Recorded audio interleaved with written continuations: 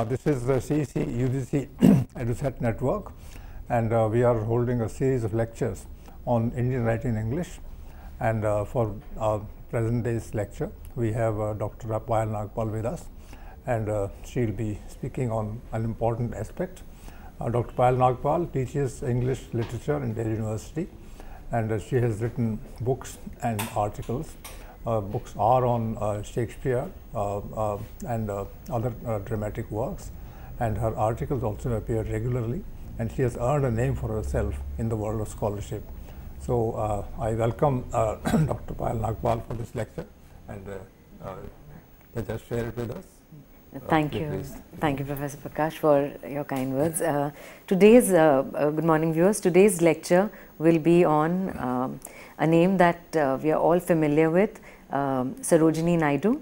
And uh, uh, today we are going to uh, discuss Sarojini Naidu as a poet. And her, we are well aware of her contribution to the freedom struggle in India. And uh, today, however, we are going to discuss Sarojini Naidu's contribution to literature and uh, to Indian English poetry. Um, if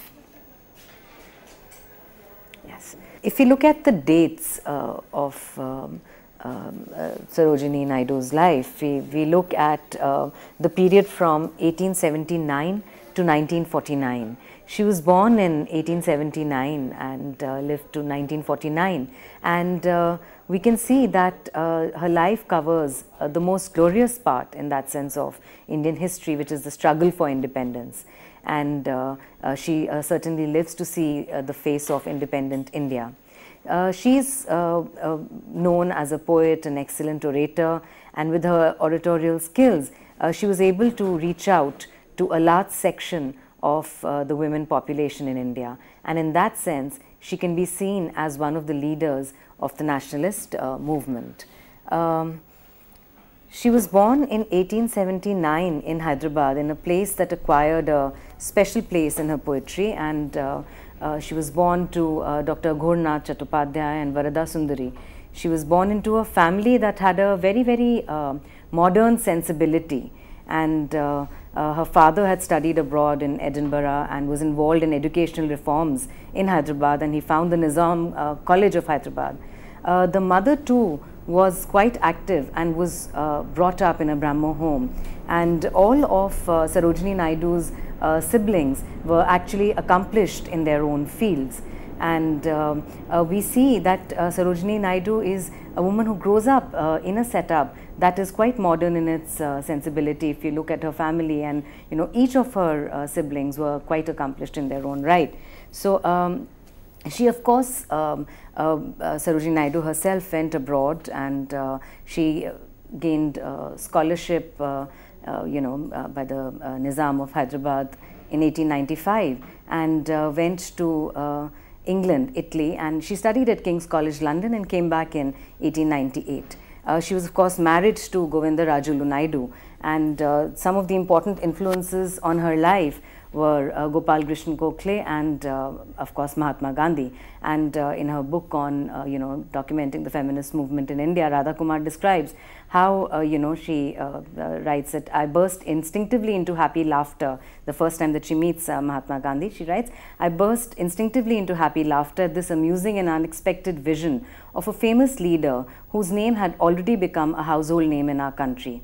He lifted his eyes and laughed back at me, saying, Ah, you must be Mrs. Naidu. Who else would dare to be so irreverent? So, you know, there was this uh, uh, uh, uh exchange that happens between uh, Mahatma Gandhi and Sarojini Naidu.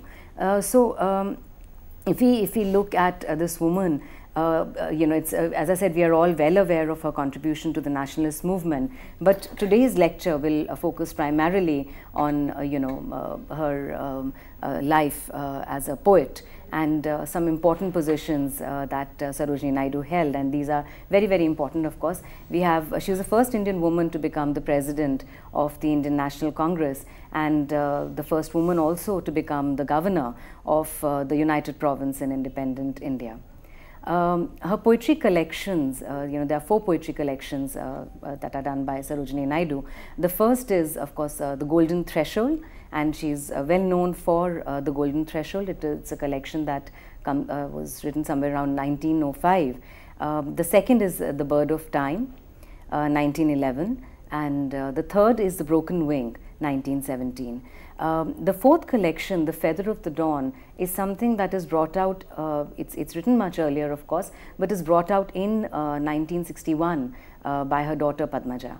So, um, when we look at uh, you know her poetry, there are two or three things that we need to keep in mind. One, of course, as we sift through the poems in each of these collections, we will be looking at her evolution as a poet you know, how things change from the first uh, to the uh, uh, final collection that is brought out later.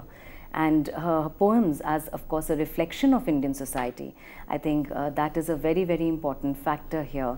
She presents to us uh, uh, a picture of Indian society, which is very, very um, bright, colorful, endearing. And this picture is important because it's, it's an inclusive picture.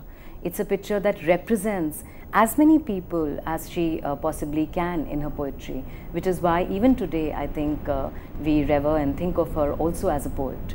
So um, her poems also as a reflection of um, uh, you know uh, uh, women in Indian society. Uh, so the, these are three factors that we need to keep in mind.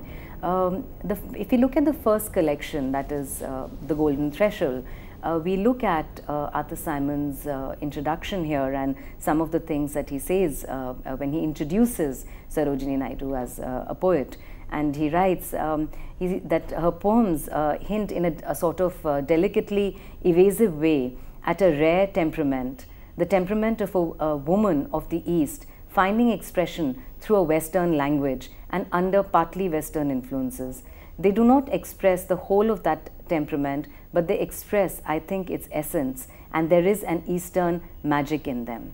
So um, uh, uh, th th this um, uh, mix of, uh, you know, a poet who has who has studied abroad, as I mentioned that she she went abroad and she studied at King's College uh, briefly, and um, uh, how she combines her understanding of the English poets, especially, you know, the Romantics and um, how she combines it with her understanding of her own context in India is important. And uh, there is a reference in this introduction to how uh, once when she was, uh, when Sarojini Naidu was actually uh, struggling with the sum in algebra, so uh, instead of that, an entire poem, you know, kind of emerges. Now, when we look at, you know, the, the titles of uh, some of these poems. It's very uh, interesting. These, if you look at uh, the Golden Threshold, the the first um, couple of poems, which are called folk songs, and uh, you know they're probably written somewhere between 1896 and 1904. So just around the turn of the century. And some of the titles of these folk songs are "The Palanquin Bearers," and she's well known for the Palanquin Bearers. Um, wandering singers, Indian weavers, um, the Coromandel fishers, the snake charmer, uh, the corn grinders. Now, who are these people? Um, the poetry that she writes is, is of course, lyrical, at times uses different meters, uh, a different rhyme scheme. So the lyrical quality, the, the quality that uh, allows uh, you know, also these poems to be sung. There is this, um, uh, it can be attributed to the fact that these are also written in a very, very simple, straightforward style and uh, that is very very important so um, you have the palanquin bearers as said uh, the the wandering singers. And these these are people these are the ordinary people in india. So if you look at india we are looking at these people who create a very very uh, composite picture. Sarojini naidu through her folk songs in this collection creates a very very composite picture of uh, uh, of india so, and is, is uh, showcasing Indian society uh, through these uh, folk elements and these are the people that uh, made India a kind of multifarious society and of course uh, the people in the West found this extremely uh, mystical. So the musical quality of the palanquin bearers for instance is very very interesting. Um, you know the, the very first line says lightly oh lightly we bear her along and there is this as I said that all her poems have this uh, attribute that you know they can be sung easily. So lightly or lightly we bear her along.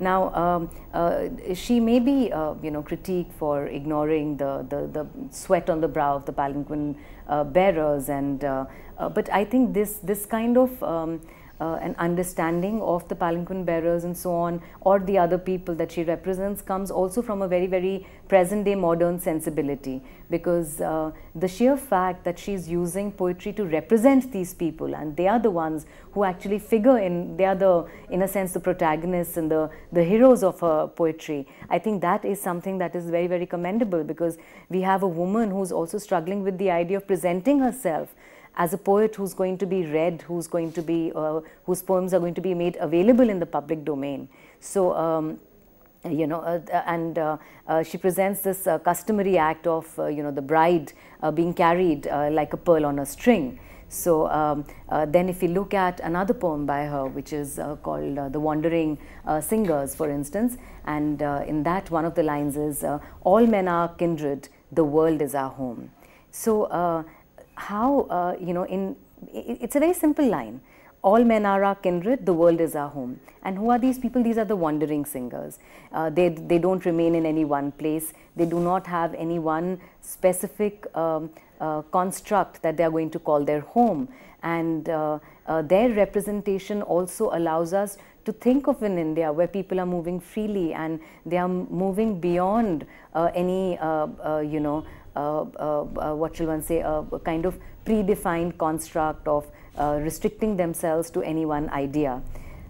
the question that they pose is, the, the, in the poem The Wandering Singers, for instance, the last lines are, What hope shall we gather? What dreams shall we sow? The voice of the wind is the voice of our fate. So uh, again, uh, very, very simply put, uh, what is the kind of, you know, even as she's showing us what, uh, for instance, the palanquin bearers are doing or what the wandering singers are uh, engaged in. She's also uh, putting uh, this, this, posing this question through the wandering singers, what hope shall we gather and what dreams shall we sow? So I think uh, they are well rooted in that sense in uh, an India which is also kind of changing. Now, this might not, as I said, this might not be um, the explicit uh, text in the poem, but it is it certainly is there. And uh, how the voice of the wind is the voice of our fate, and as things are changing, uh, so is uh, you know the, the the the fate or the or the uh, uh, condition of the wandering singers changing. Um, I'll also share with you one or two lines about you know the Indian weavers and um, uh, for instance, uh, the poem begins with uh, the colorful depictions of uh, the Indian weavers and the weavers weaving at break of day shows us how they get up early, how these are workers who get up early and they are engaged in their work. Why do you weave a garment so gay is what she asks.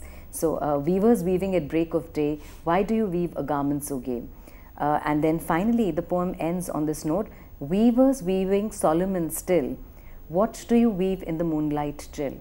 which also uh, the moonlight chill uh, very sharply contrasts uh, with weavers weaving gay garments at the beginning of the day. So we, we see, uh, you know, the poem very simply without complicating it, without jargonizing it, without uh, kind of um, uh, breaking ideas into fragments. It very straight, in a very straightforward and simple, and as I said, in a very lyrical sort of manner, presents to us the idea that the weavers are weaving from early in the day and they are also braving the moonlight chill.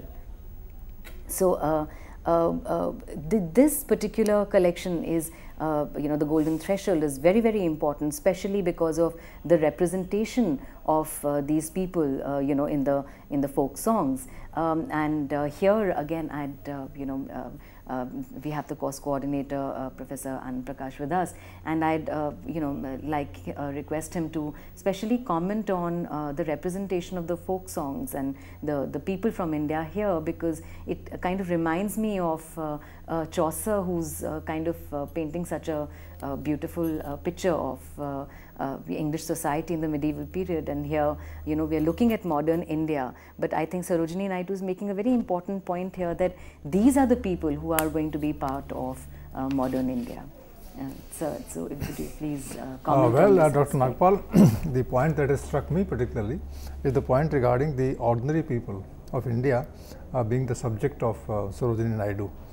And uh, I believe that the people you have referred to, the snake charmers, weavers, palanquin bearers, wandering singers, all these people, as you rightly said, have no home. They don't belong to any place. They, they walk, walk from one place to another.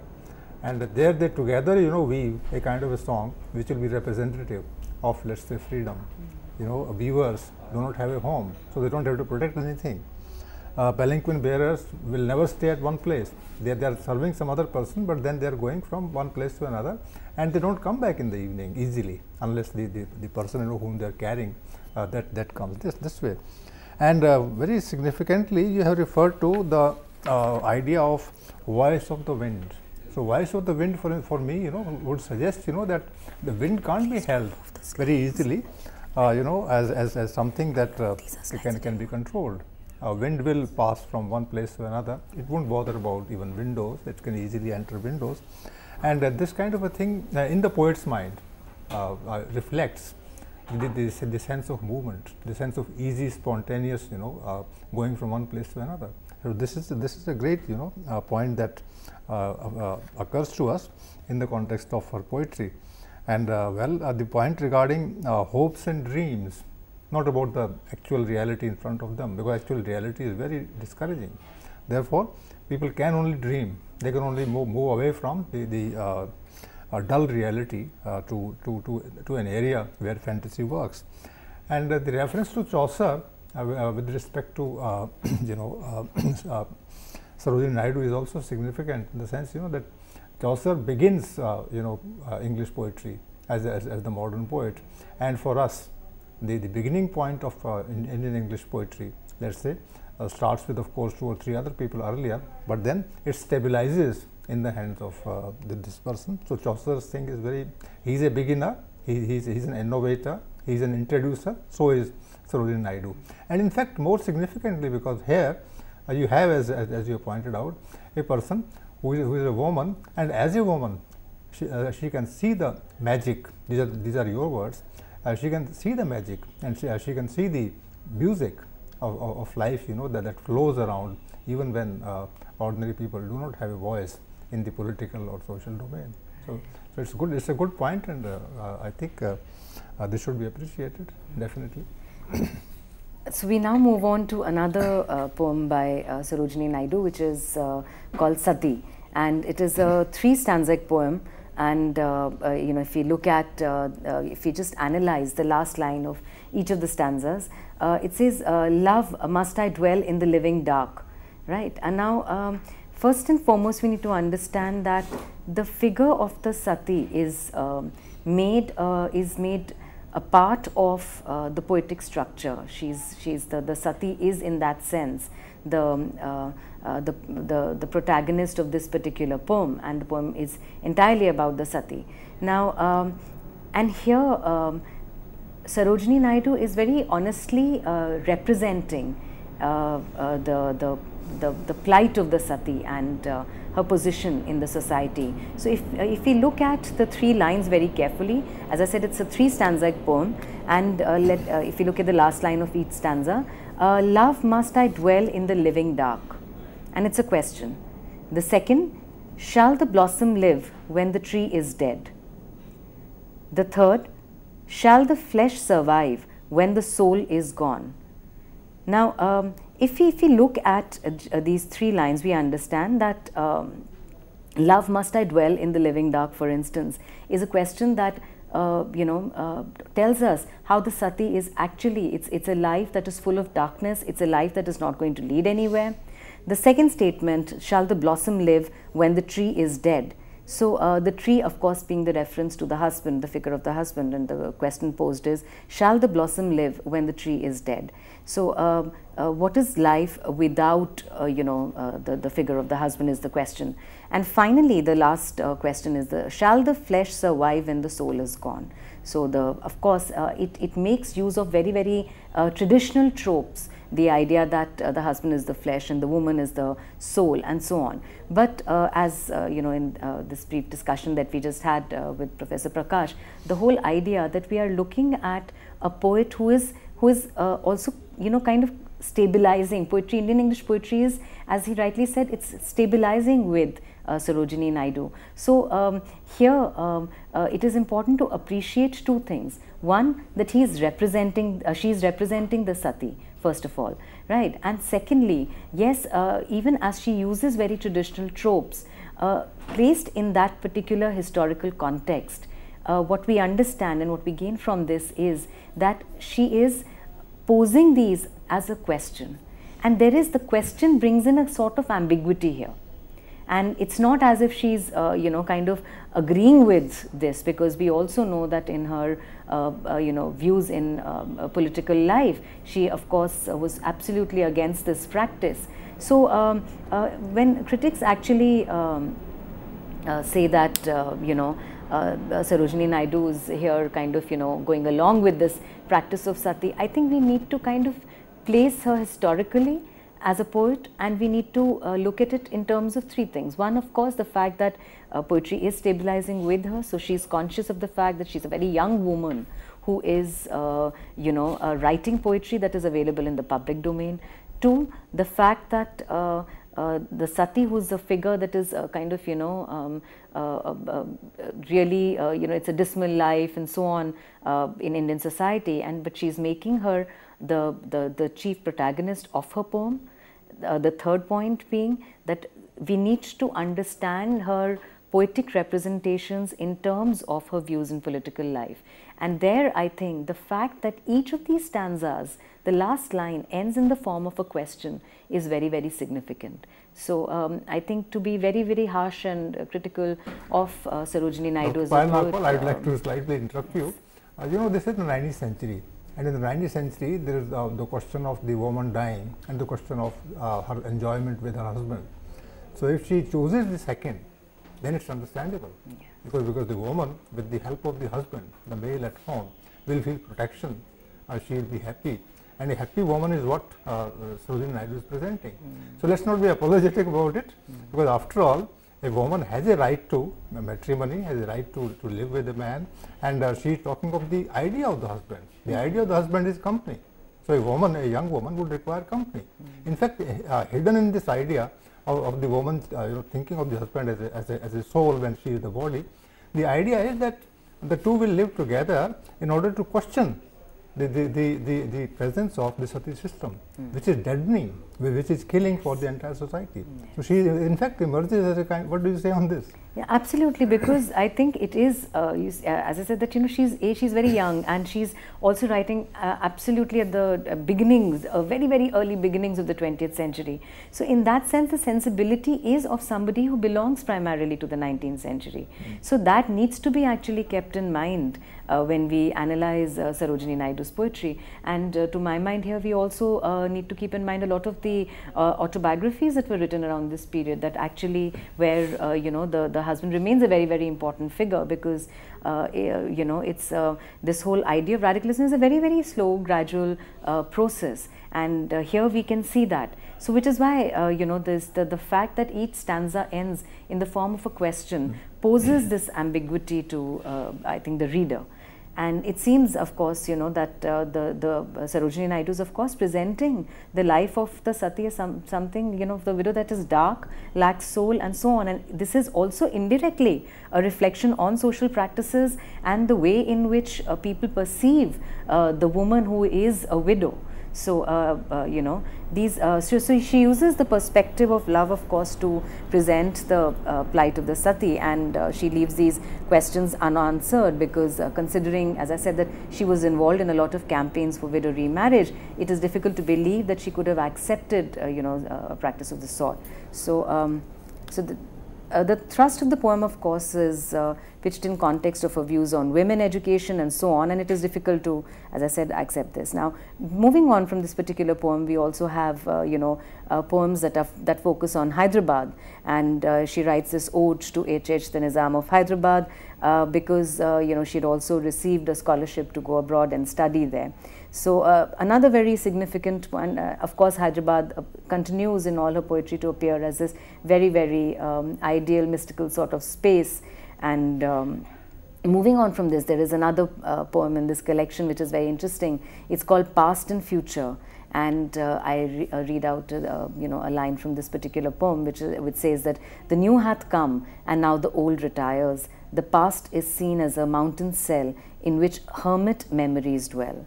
So um, uh, the new hath come and uh, now the old retires. So here is a poet who is able to, uh, you know, at the beginnings of the 20th, 20th century, she's able to mark this change that things are changing in the society.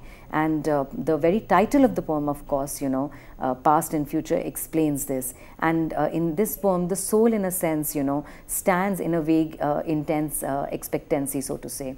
So um, um, I think uh, uh, that's the, the philosophical aspect of her poetry is also very, very important. Because um, please note that time um, uh, is very, very significant. Things are changing. She's, she's marking these changes.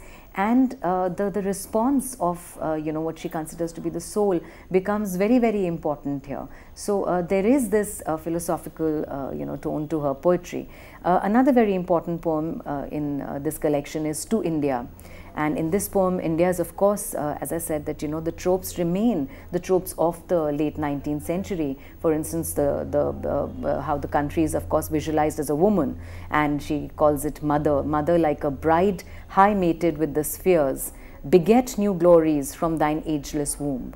So um, uh, the, the, these mark how, how, of course, the country is visualized as a woman and is begetting uh, change and uh, new glories. So uh, if, you, if we look at these two uh, poems in perspective, past and future, and to India, we look at the idea of change, we look at the idea of uh, a new India that is uh, very slowly, very gradually emerging, and which is where she visualizes India as this, as this mother that is begetting this change.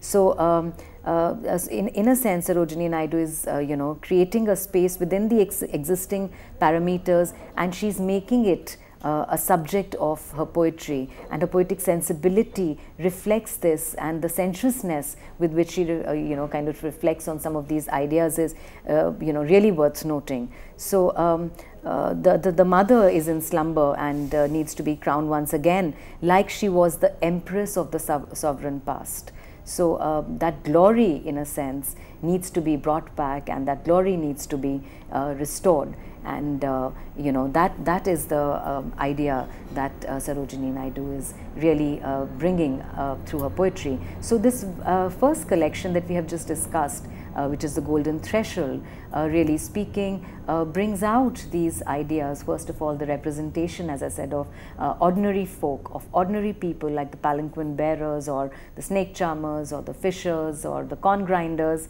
and in very simple song-like quality uh, she, she presents to us the work that they do. And uh, uh, uh it, it is these people who are going to be part of these new ideas that she's talking about, new ideas that are emerging in a poem like Past and Future, and the new ideas that are emerging that are to be begetted, uh, you know, begotten in, in a sense in, uh, through the, the figure of the mother in a poem like To India. So uh, with this, um, uh, you know, we, we uh, uh, uh bring a discussion of uh, the golden threshold to a close.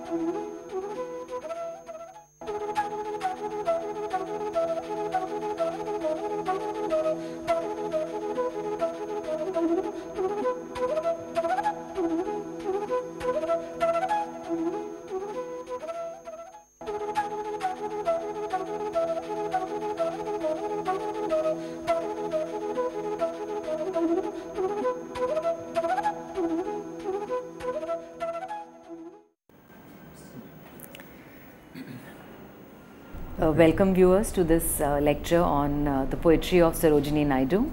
Uh, we will be discussing uh, the second collection uh, by Sarojini Naidu which is called The Bird of Time. And this collection carries an introduction by Edmund Gosse and he, he compares her work to that of Toru Dutt uh, who uh, you know who he had also introduced. And he permits a certain naivety to uh, you know Toru's work and says that uh, of course Toru was uh, you know she died very young and so on uh, he presents Sarojini Naidu's collection of poetry you know with this and he shares this little information about how he had actually looked at her poetry earlier and the kind of suggestions that he had given Sarojini Naidu regarding her poetry so um, uh, I, I, would just like to uh, kind of, you know, uh, share with you uh, some of his uh, comments. And he says that the verses which Sarojini had interested uh, to me um, were skillful in form, correct in grammar, and blameless in sentiment. But they had the disadvantage of being totally without individuality. They were Western in feeling and in imagery, and they were founded on reminiscences of Tennyson and Shelley. Um, he says, uh, he says, I implored her to consider that from a young Indian of extreme sensibility who had mastered not merely the language but the prosody of the West, what we wished to receive was not a réchauffé of Anglo-Saxon sentiment in an Anglo-Saxon setting, but some revelation of the heart of in, uh, India, some sincere penetrating analysis of native passion, of uh, the principles of antique religion, and of such mysterious intimations as stirred the soul of the East long before the West had begun to dream that it had a soul. Moreover, um, he says, I entreated Sarojini to write no more about robins and skylarks in a landscape of our midland countries with the village bells somewhere. Uh, in the distance calling the parishioners uh, uh, to church, but to describe the flowers, the fruits, the trees, to set her poems firmly among the mountains, the gardens, the temples, to introduce to us the vivid populations of her own voluptuous and unfamiliar province. In other words, to be a genuine Indian poet of the Deccan, not a clever machine-made imitator of the English classics. And um, it's, it's very uh, interesting to note, and he, he then goes on to say how Sarojini Naidu had actually, uh, you know, uh, uh placed all her uh, uh, poems in this collection in the context of India, and how the reader will be totally delighted at reading some of these poems because they reflect in India. And here too, uh, you know, the, as I said that, you know, that's if we look at uh, uh, the golden threshold, uh, then a lot of the imagery and uh, uh, the, the ideas behind it belong in a sense to late 19th century and that continues here. But a significant marker of this particular collection is, you know, keeping in view Edmund Gosse's comments, um, they are about in India the flora, the fauna, the imagery, the birds, um, uh, everything that belongs to India in that sense. So there is a conscious effort and uh, if I can actually uh, go ahead and say there is a conscious effort to create an aesthetic here that is purely Indian and if he were to, to understand how uh, Sarojini Naidu in her life and her readings was greatly influenced by uh, the Romantics and, and the Victorian poets, of course, uh, but greatly influenced by the Romantics. So this use of very, very simple language to understand nature and to use that to express uh, uh, the, the, uh, the people of India, the nature, the ideas that belong to India is there in this particular collection. So uh, in it, she's not questioning, for in, uh, you know, uh, for instance, um, uh, any other, uh, you know, uh, it's not a, a, collection where we'll see some kind of questioning of these things, but she is a poet who is creating these ideas and uh, uh, and uh, nature finds beautiful space in that sense in her poetry.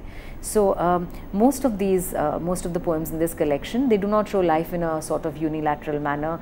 there is the good, there is the bad. There are these good times. There are moments of despair. There are moments of grief.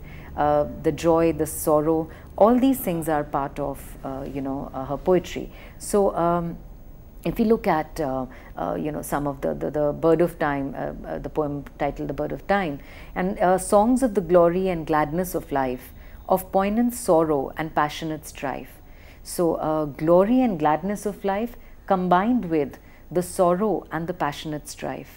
So, um, and the poems in this collection present the, the changing measures of time.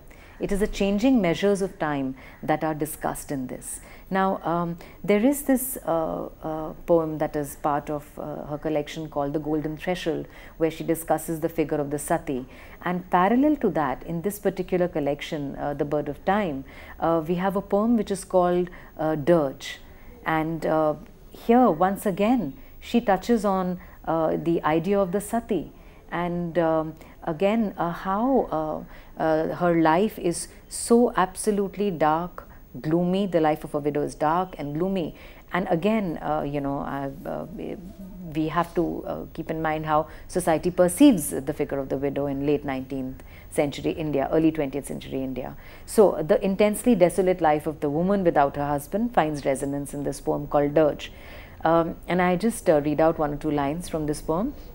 What comfort can we give for joy so frail, for the abysmal anguish of her tears, and flowering springs that mock her empty years. So, um, what comfort can we give also reflects on the idea that there is society provides no comfort to these women and uh, that is something that she is uh, presenting that Sarojini Naidu presents in a very very simple manner and uh, where these ideas are kind of you know um, uh, uh, laid out uh, very clearly here in, in this poem which runs over four stanzas, there is another poem uh, called An Indian Love Song, uh, which is visualized as a conversation uh, between a man and a woman. And here she contests the religious prejudices in the mind of the woman. And uh, in which the man finally asks the woman and says that, you know, what are the sins of my race, beloved? What are my people to thee? And what are thy shrine and kin and kindred? What are thy gods to me? Love recks not of feuds and bitter follies of stranger, comrade, or kin. For love shall cancel the ancient wrong and conquer the ancient rage, redeem with tears the memoried sorrow that sullied a bygone age. So, um, when we look at these two poems that are dealing with two very different ideas, of course, Dirge focuses on the plight of the sati, and uh, you know, uh, an Indian love song uh, looks at this, uh, you know, visualizes this conversation between a man and a woman from two different communities, and the man finally puts this uh, question about, uh, you know, um, love recks not of feuds and bitter follies. Love shall cancel the ancient wrong and conquer the ancient rage and redeem with tears the memoried sorrow.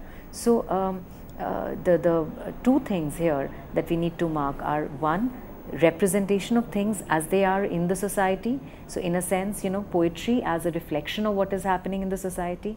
And secondly, how she's also in a poem like uh, an Indian love song, she's using uh, uh poetry to actually visualize a kind of unity between different communities, something that was of course a very very major part of her speeches and her um, uh, you know her uh, participation in uh, political life and she also bring makes that a part of her poetry.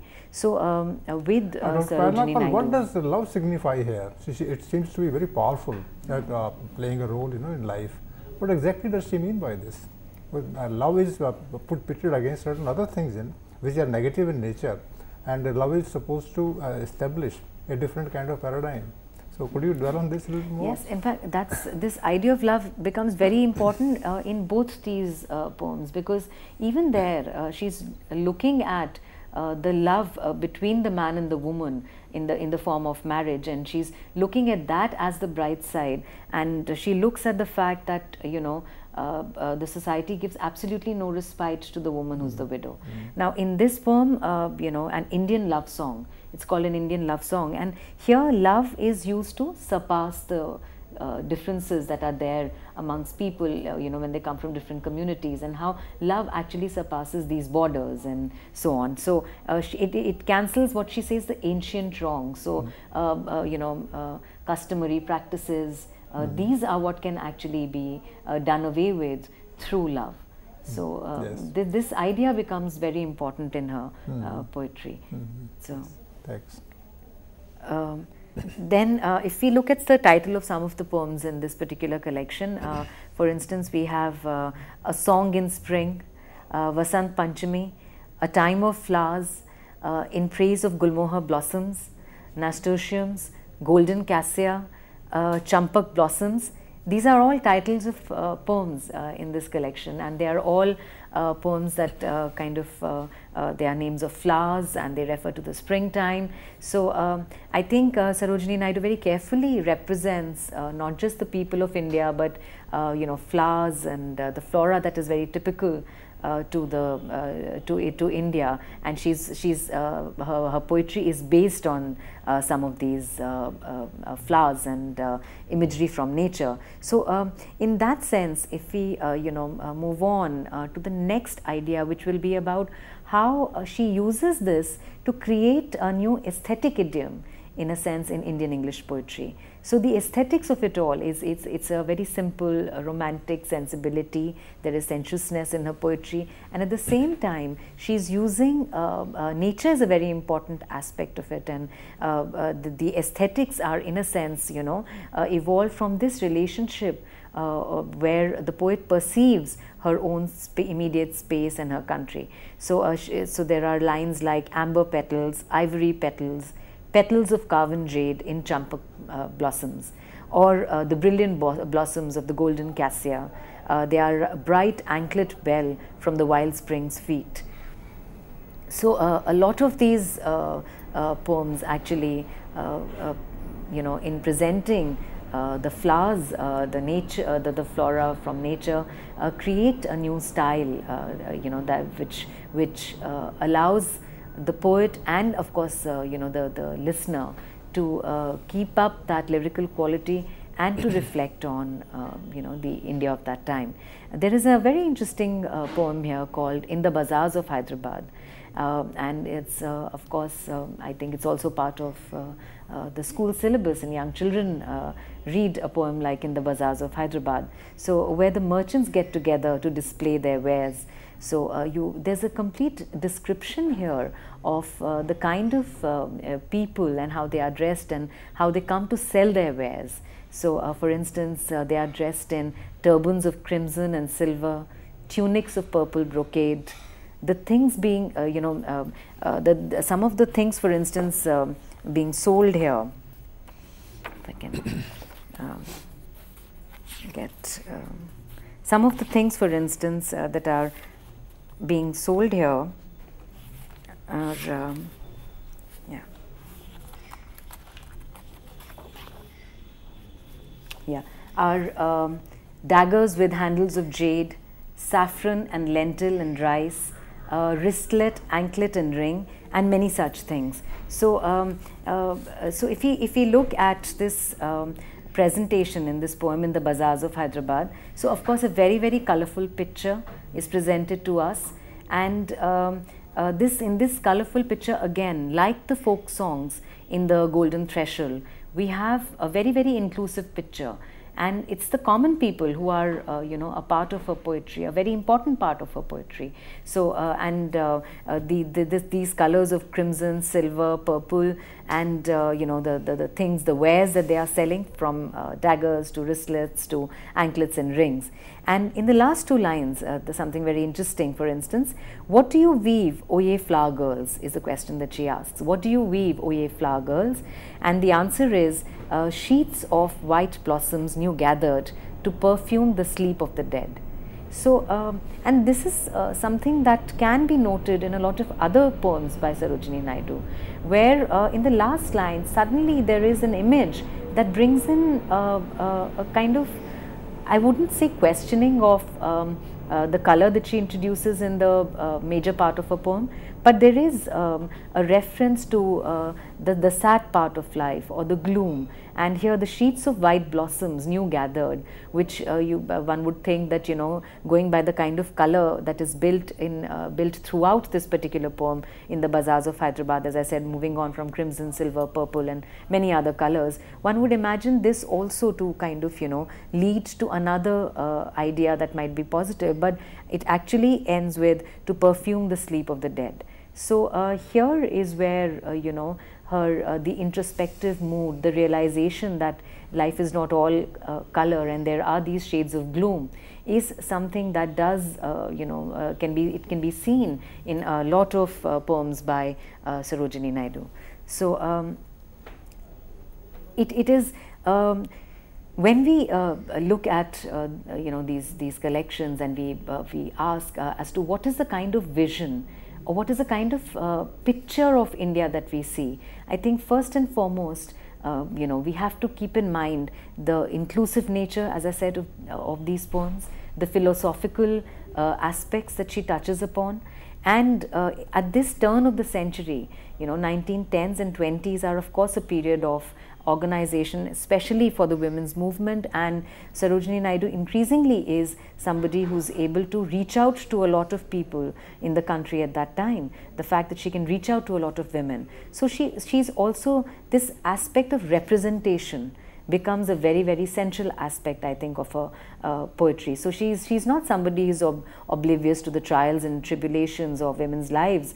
Uh, you know when she's uh, kind of um, talking about um, the, the happiness or the color, but she's well aware of a lot of these things. And the sharp political rhetoric in her speeches can be, you know, um, the, the, which are straightforward, can be contrasted with a, deep poetic sensuousness here um, with uh, you know a, a, a, poet who is as I said evolving who is uh, who's creating uh, uh, these ideas and who's also looking at uh, poetry that uh, can be sung, that can be uh, shared by everybody. It's not poetry that is meant for, I think an important distinction that one needs to make in the context of uh, Sarojini Naidu is that it's not poetry that is meant for an intellectual elite. It is not poetry that is meant for, you know, a small group of people uh, who will uh, probably gauge, um, you know, the, the its verbosity or uh, the fact that, you know, uh, how it lends itself to uh, some um, high-flown ideas. The strength of Sarojini Naidu's poetry is its simplicity and the fact that it can be read even today it is as I said part of a lot of uh, school syllabi. So um, the fact that it can be read by school children and it can be read by uh, students in college and uh, it can also be uh, uh sung and read by people uh, you know um, who are more mature. So uh, it, it is because it is it lends a certain simpl simplicity to it. For instance, we also have a poem called "The Old Woman" in this collection, and the old woman here is depicted with it's it's it's almost as if the words are being used to kind of draw a picture I wouldn't say paint a picture, I'm saying draw a picture of that old woman. She is poor, and I, I just quote from the poem She is poor, she is bent, she is blind, but she lives a brave heart to the jest of the days. So, um, you know, and as she sits patiently. So the poet is describing the, the, you know, he moves on to describe different phases of her life and how the old woman is bereft of any human warmth and she lives in a sense with a prayer and how each stanza, you know, the, the, it, as it ends with the prayer, uh, kind of uh, offsets this, the, the, the absolutely stark way in which this old woman is uh, presented. And here again, I would uh, like to. Um, no, in fact, I was going to ask a question myself from from you. Uh, with this, uh, you know, you are describing her as a poet, which is of course the central aspect today. Uh, but you know, she is a poet and also a citizen, and she is a Congress activist. She is a political activist. So, is there a kind of connection between activism in society, getting some emotions from there, expressing them in poetry, and through poetry, once again reaching back to the political social field? where she is active. Is that kind of interaction and traffic between the two there in the poems or? Uh, there, there is uh, that uh, traffic in the sense that uh, her poetry provides the emotional quotient there, mm. and uh, I mean, her. If you, uh, the one thing that is common to both areas is the fact that she's absolutely straightforward in her speeches, and she's absolutely simple and straightforward in her poetry. but there is a kind of, of course, there is, as I said, the sensuousness in her poetry, which of course is something that will uh, supplement her, uh, her speeches. So, uh, but the ideas are there. The ideas are there, are common to both. Her concerns are common to both. She's concerned about women in both uh, you know, and the common people in both her speeches and in her poetry. A question uh, slightly outside the pale of this uh, uh, lecture. Isn't there sensuousness and excitement and feeling also in politics? This is the question, you know. Uh, sometimes politics also energizes us, it inspires us, it compels us to, you know, just not merely think but be with the masses. Mm. And that sensuousness gets translated into a kind of sensuousness that is there in the po poet's writing. Mm. Isn't that the case sometimes? Yes, uh, and certainly the case I think with Sarojini Naidu because we see see it her uh, very very uh, intensely uh, felt understanding of the people of India and how she deals with that both in her speeches and in her poetry. So yes, in a sense that sensuousness is there uh, in her speeches as well as in her poetry. Yes, uh, here I totally agree with that. So um, because you know shades of gloom and there is an old woman and uh, this gloom and this old woman would also refer to certain sections in society, society you know, yes. which are at the receiving end of uh, certain entrenched forces and interests. Uh, and th that is done in a very, very, uh, of course, in the old woman it is explicit mm. because uh, the, the, poem is on the old woman. But in other poems, as I mentioned in the Bazaars of Hyderabad and a lot of other poems by Sarojini Naidu, how each poem ends either with a certain ambiguity, with a very subtly, uh, simply, simple but subtly put uh, uh, question. Uh, which which makes you think that you know she's looking at things also in terms of not just uh, their gay colors but also in terms of uh, how uh, things are affected by time and how the people the common people are of, are of course as you rightly said at the at times the receiving end of things so, um, and again here, uh, you know, uh, I want to draw special attention to some of the poems in um, uh, this collection called The Broken Wing. There's uh, the, th the third collection, written around 1917, uh, um, is um, uh, The Broken Wing. and here we can see poems like The Temple. If you, if you look at the titles of some of the poems, it's The Temple, The Imambara, A Song from Shiraz, Wandering Beggars, the prayer of Islam, Awake, which is dedicated to uh, uh, Jinnah. So it is clear that, uh, you know, here uh, uh, you know, and as you uh, we we just discussed this aspect of sensuousness being uh, you know common to both her speeches and her poetry. Her concerns from political life can very well be seen here because 1910s, uh, the period between 1910 to 20, especially in terms of organizing people in terms of the freedom struggle, was very very significant. And this idea of communal harmony is is a subject of a lot of her poems in this particular collection, The Broken Wing and um, the golden cassias and the champak flowers of the previous collection, you know, of the bird of time that is, have transformed into a recognition of a kind of unity that she's um, uh, visualizing for India.